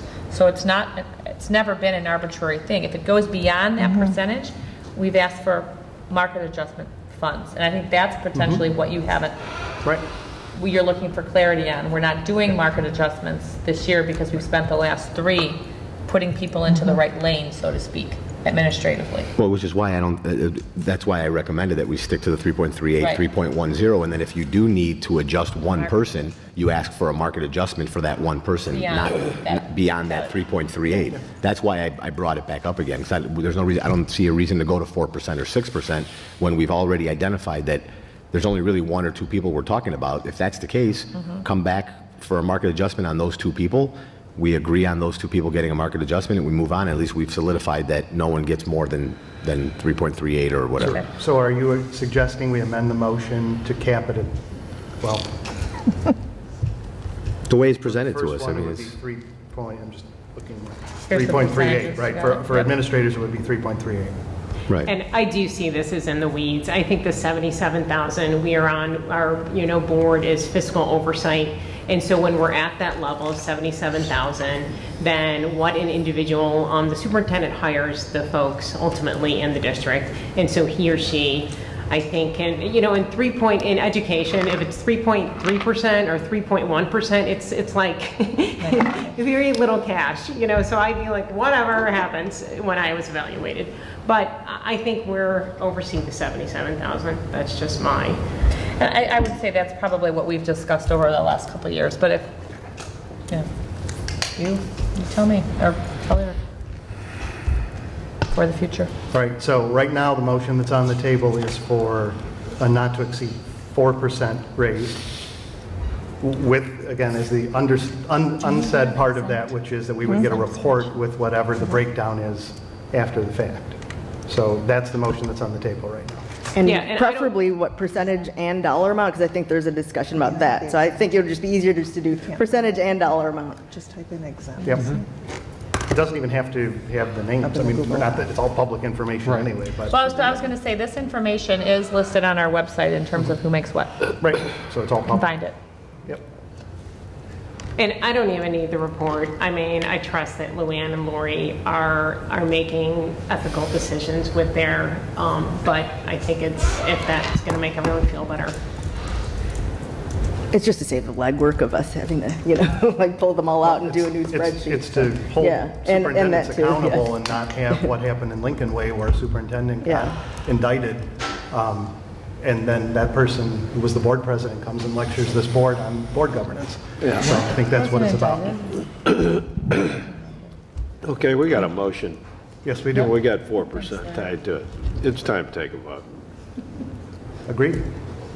Okay, Any other pick a discussion on number. this? Is that, you're talking about the exempt?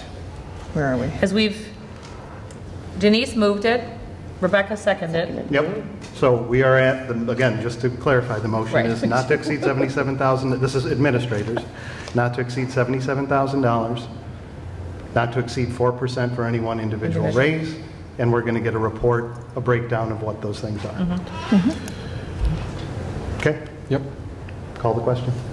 Sure. Um, So I have my randomizer again. Thank you, Bernadette. Pick a number. really? though, Rick, so I'll That's so pick cute. The number. Just Oh, pick a random number, three. 1 through 14. Three, okay. Uh, Ryles, Yes. Sanchez, Yes. Pearl, Yes? Biaggi, Yes.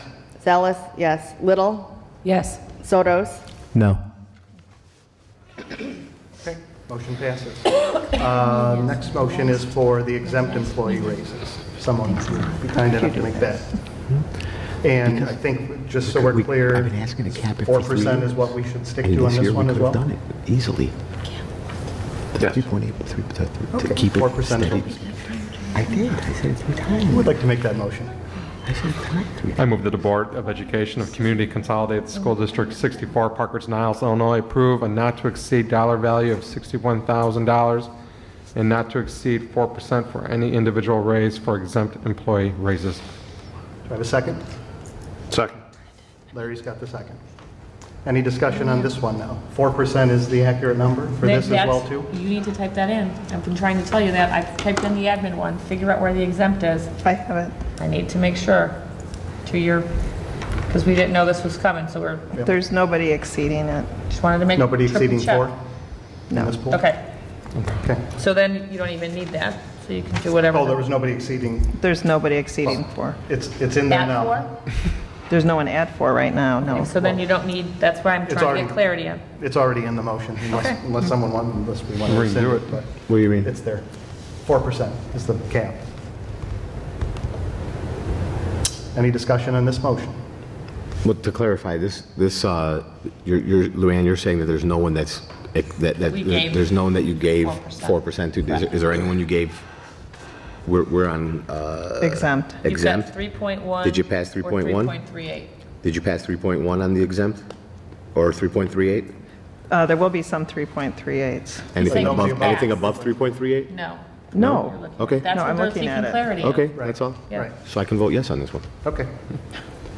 Any other questions on this motion? Okay, call the question, please. Okay. Uh, Little, Yes.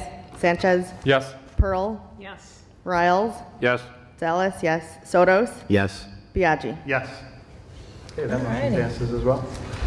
All right, we are on to the personnel report. I did put a revised copy of the personnel report at your table. This time of year, we're continuing to hire people, and as soon as background checks come through, we pop them on the personnel report. So just expect in July and potentially even at the August meeting that you'll receive um, a revised personnel report, again, because as these background checks come through, we never know the timing. Um, We try to keep this document as updated as we possibly can. Questions on it? Yeah, I have a question. Uh, hey, We have uh, three nurses for summer school at Roosevelt. Uh, Are they, are they rotating, working different days? Where Different do we- days of the week and different ro- locations. So uh, Margaret Tamari is the district nurse, so Right. she's one of them. She'll be based out of there because remember, some of the schools are under construction. Mm-hmm. And, and then she'll rotate through the different sites. Uh, Sue will be the primary nurse at Roosevelt. And then I didn't think there was anybody else. Yeah, Oh, there's- and Sher, uh, Mrs. Liddell. So they'll alternate their days. Same thing with Emerson. Patty? I think mean, there's, they're Paula's job there. sharing. I know Keta for sure is job sharing. She was talking to us about that a few weeks ago. And Paula, they're going to each take a couple days a week of summer school and just share the, share the responsibility. You can notice by their salaries are kind of cut in half, that they're, that they're sharing, that they're job sharing with somebody. Do you mind just pointing out what the changes were from the one we had in our report? If there- Sure. If there's anything significant. So I know uh, Joel tried to bold anything that Oh, was. was that it? That Was was that- it. okay. And I, I asked him the same question. So for example, if you go down to cell five, uh, Pamela Yep. through Sherry, we moved them, the rationale was we moved them from hourly to salary. Hourly, we really uh, assigned a dollar value if they need to work less than the full hours of WOW. So they're only going to work maybe an hour a day or two hours a day. Salary is if they work the full, the full window within WOW. So uh, Sue Wan, as she's tightening up who can work and when they can work, uh, gave that information to us today. If you go down towards uh, the the second to the last cell on the first page, Paula Yurkovic, um, we didn't factor in when we initially put her contract amount in, the amount of hours that she gets to prep for that job. So that represented a change in her, her salary. Uh, Those that are marked new Yep, were the new hires, were the, the um, background fingerprinting and whatnot, background checks were coming through, and I think that's it. The remaining were just new, new hires that we were able to finalize. Teaching assistants for summer school, are we hiring college students? Some are recent graduates if they have their certificates and their licensure, yes, they can work. Uh, We have a couple of new grads, and, and they are always looking to teach summer school. It's a nice resume builder, they get some experience. Well, they're working as a classroom. teacher And then assistant, they're working yeah. as assistants, yep. Well, I don't know if we have more questions on the report. Why don't we do that during the motion? So someone would make the motion on it. I move that the Board of Education of Community Consolidated School District 64, Park Ridge, Niles, Illinois, approve the personnel report, noting that the personnel report is based on the recommendation of the superintendent and not upon the board's direct knowledge regarding any of the specific individuals selected for employment. Do I have a second? Second. Fred has the second. Okay, any discussion, further discussion on the personnel report? Okay, seeing none. Pearl, Yes. Sotos, Yes. Little, Yes. Sanchez, Yes. Salas, yes. Biagi, Yes. Ryles, Yes. Wow, we are at 8:44. This is This an absolute, a well, we only did a record. portion of your, I mean, a very small portion of your budget. Well, this That's was the big part, though. Good, this is still a miracle. All right, so next meeting of the board is June 24th. Um, And it will be at 7 o'clock. We don't anticipate an additional closed session that I night at this point? do, Maybe? perhaps. We I will had not be a here. situation on the last day of school that we're, we're working through right now with a family, with legal, special education situation. We may be coming to the board with that one for enclosed. Okay. Mr. Mr. President, before you hang, before you uh, close this meeting, I, I, during, when we were discussing construction, I completely, it completely stripped, slipped my mind to ask a question. We're, we're done with the field, uh, uh, with what we needed to do with the city, right? That's So we're getting ready to move forward, we're, we're gonna start, uh, start doing whatever we need to do to get that school ready for the next school Yes. year. If you can just refresh my memory, because I, I forgot, the old office, are we getting one large and one small classroom out of there, or just one large? So what it is, is there was, there's a large space there, and then there was a small room next to it. Right.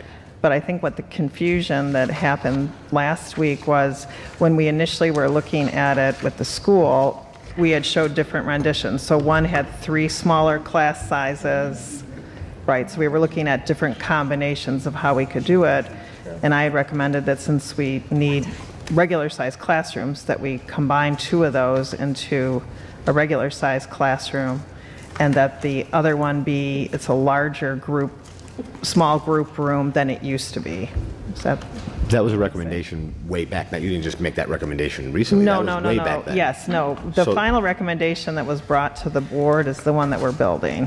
Which is one larger, roughly 800 square foot classroom And that a s- matches the other classrooms of field, and a smaller Like 300. 500, I don't know, three to Potentially shared 500. space for small group instruction or an itinerant teacher. And that's still the plan moving forward? Yes, and that has not changed. All right, thank you. May I ask a clarifier on our policy on public comment? I know that was talked about. So at the last meeting, um, I, as I watched the video, I thought you did a nice job on teeing up, you know, public comment and, and how- what would it be structured like. And then I just was confused, and so this might be my newness. Then there was the Washington space issue, and then there was the committee brought up during public comment, and it was very conversational, hours of conversational. Mm-hmm. And so I was confused that and then the next individual came up and there was conversation again. So if, I just think we need to be consistent on our policy. If the policy is no interaction and no discussion, then I think we need to do that consistently because it sets a, kind of a haves and have-nots, who gets a conversational and who doesn't get any response.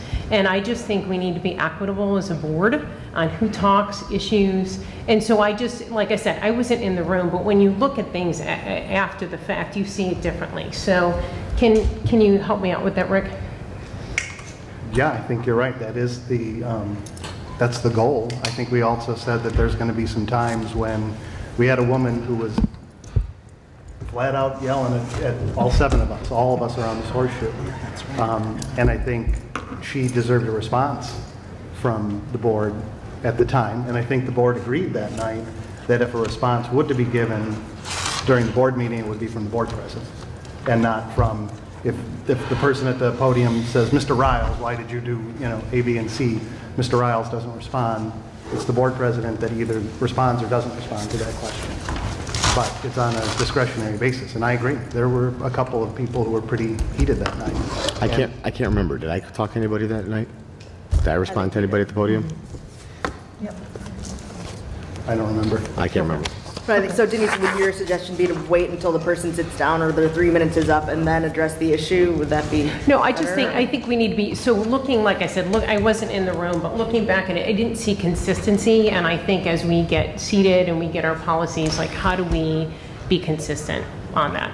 So are you talking about just the people at the podium, or were you talking about the panel as well? I think, well, Because the panel was Well, not, the panel the was not was not part of public comment. I mean, even though it was seated at the, roughly around the same time, the panel was here to have a dialogue with us, I think. It Right. wasn't, they weren't here just to give us their opinion and walk away. Right. We needed to ask some questions and get some, some Just like response if- from them. just like And Ron ba- comes bounce back and forth. So putting that aside, I got to go back and watch the video, because I don't remember what happened at the podium. No, you're right. It was, it was both, actually. You had a dialogue that we fully expected to happen, as you said, with the committee. That's why we brought them in at night, and they spent two to three hours here. Mm-hmm. Um, But it was the folks from the podium, and, and there were a couple. Were those Really. folks, were those folks from the podium coming up as we were having the conversation with The woman talking the, about with the panel? registration, Right, Yeah. that was one of them. Right, the woman who interacted with the board was talking about re- registration and when we would find out about when bubbles burst and, and And that was happening during our conversation with the panel, right? It was kind of like all, it was kind of I all. think it was after. It was but- all starting I to like. think they were still inter- sitting there, though. Right, it was all starting to like inner, like mingle with itself. And then there were people yelling, say, no, wrong, that's not in- right information, and so, I mean, it's, I don't know. Before, before, before we go, I want to I thought it was a good meeting, though. make a, a comment that, uh, I agree with, with Denise, but the, uh, the Committee on Space at Washington they all need to be at the board meeting.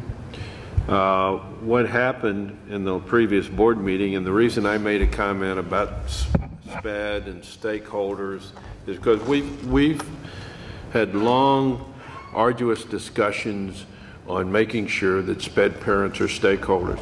And then we have SPED parents who were a part of that committee, and we had the committee seated here, and none of the SPED parents, I- I'm sure they supported what the teachers brought, but we had SPED parents who got up and spoke that weren't a part of that committee, that attacked this board, mm-hmm. and then the SPED parents that were a part of the committee didn't speak.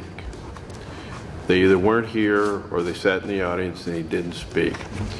And the role of a stakeholder, if you supported the teachers that were sitting here, then your role is to get up and, and why you supported them. You're a SPED parent, all SPED parents are equal. And um, so I would just like to ensure that we have all of the stakeholders, all of the pieces of that committee here at the next board meeting. Well, I mean, we can certainly invite them. Sometimes their schedules don't uh, allow them to come, but you do have board repre- board representatives that are there. You have several administrators that were there and are present, and the architects. So You're we can right. carry those voices through and help them understand how a decision was reached. And I think at the last, at that last committee meeting, I specifically asked the teachers to be there because, to me, Right. again, my opinion was the critical component in that whole conversation was what the teachers, the, the deal that they had brought to the table, and I wanted them to present it to the board and not me present it to the board. I wanted you guys all to hear it from their mouths. My, my Um, point But I agree. Yeah, my, my point being is that all of the SPED parents need to understand that there were SPED parents as a part of that Right. committee, and Right. this group was representing the committee. You know, they had not left SPED parents out. So the SPED parents came to the podium and, you know, slapped us around the room. And, and after the board changed their mind and didn't, and changed the space. Yep. All right, all right, one more new person question, and then I think I'll be done. But, um, and Rick, I do appreciate, I think you um, are a fan of transparency, particularly with the public, and so I've gathered that about you. And I just wonder, um, you are the communicator for the board, right? You're as the board president. So is there any, and you respond for the board, right? You respond on behalf of the board, and I think that's your role. Is there any time, or how- when do you share with us, like, Rick responded to the board this, and I'm like, okay, I mean, I'd love to know what that is if you're responding for me. Right. So is there, you know, like a FOIA request? Do you synthesize, you know, here's some of the emails, here's some of the responses? I just wonder what that transparency looks like from a We president can. I think there's been a total of, since I've been board Just a president, couple. two emails that have come to me that have all gone to you. So what typically Dr. Burley would do in the past, and John Heidi prior to Dr. Burley being the superintendent uh, during my tenure, was he would just copy the board as an FYI. So uh, Tony Luizzi gave Rick uh, a standard message that shoots out when someone sends him an email, and it says, hey, I may not get back to you right away, nicely written. Tony Luizzi pulled it from another um, school district. Then when Dr. Borelli would respond, he would usually CC the board knowing that it was just an FYI, so you would know what was communicated. My worry about CCing Is the if- board at the time that eh, it's live is that we get into an IOMA violation because If somebody anybody decides- responds. Yeah, if anybody responds, we're off the reservation at that point.